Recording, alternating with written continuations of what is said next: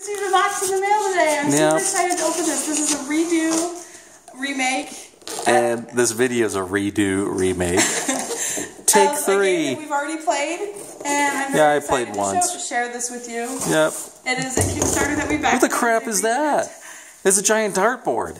And oh, that's nice. That's a nice little bonus. Did you know about that? I, what is that? I don't know. We're gonna find out. Is it Parcheesi? I don't know. I just no, made that up. that's don't a bonus. That's where the pegs go.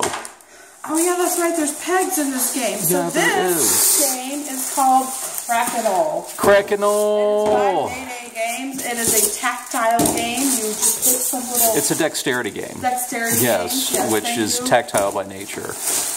A tactile by nature dexterity. I, I got your back. You don't have to repeat everything I say. I'm supposed to repeat everything you say. You're not supposed to An say excited affirmation. Look, it's a big target. Woo! All right, here we go. All right. It has a nice little uh, way of hanging it on the back so that you can hang it on the wall, which I think we will do. And uh-oh, Well, we didn't buy the wall hanger. What? There's a crack in our. Well, it is called Crokinole. Well, there you go. Where? Where? So- What? You see that crack? All right, we will at it together. Watch Okay. it fall, and then it'll really be cracked. Yeah. Okay. All right, guys. This is probably the sloppiest unboxing we have ever done. Yeah. However- sloppy first. Sloppy first. This is it. This is the game. Yep. This is a giant board. There's uh, a few flaws here and there. A little screw that got a little misaligned. Uh, I guess it's not a crack. It's just an. No, that's the way that it's glued. yeah. But here's basically what you do. You put pegs in each of these holes, and then you flick. Those are the boundaries for the areas. your little guy Flick your bean. All right. until it's stuck. And the goal is to get it right smack in the middle or to not get it right smack in the middle. I don't remember. But I think that whoever, because if you're, it's a two-player game, right? Yes. Is it just two players? it's two players. So whoever gets the closest, whoever gets the disc closer to the center gets points for that Without round.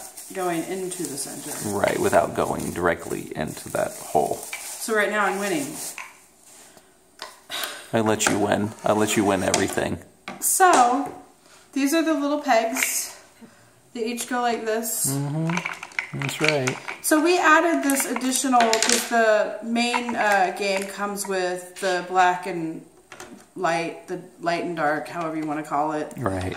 And Black then and we tan. added these blue and green because we love the colors blue. Yeah, I'm blue, she's green. Obviously. That's why we work.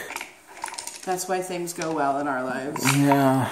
And then we have one extra, so I guess um, the green With the peg they left don't seem to have pegs to match the colors, so I guess you just have to choose as green. Why would they have dark it? Oh, yeah. Or is blue Well, dark. the pegs And are a single color. Wait.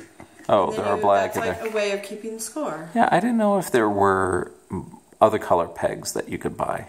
So basically, this is all the components. It's a fun little dexterity game. It's a fun. It's an ancient dexterity game. I don't know when this game was first invented, but But I, ha- I have a It is a game. spot on the wall to hang it, so I'm super excited yeah, well, that. we need to buy a wall hanger for it. Oh, I know. It has a hook in the back. It does? Yeah. Anyways. Okay. So that is it. A big box of awesomeness. A big box with a circle in it. So thank you for watching this amazing unboxing of this amazing game, which we're very excited to have. Yeah, hope it was good for you. Yeah, that too. Night night. Yeah, see ya, dude.